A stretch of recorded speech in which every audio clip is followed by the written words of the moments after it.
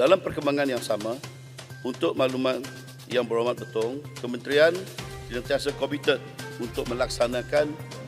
uh, kajian untuk meneliti kesesuaian untuk meminda peraturan-peraturan yang sedang berkuat kuasa untuk ditambah baik selaras dengan uh, persekitaran perniagaan yang dinamik serta merancakkan sektor perdagangan dalam negeri dan kegunaan ke arah yang lebih progresif.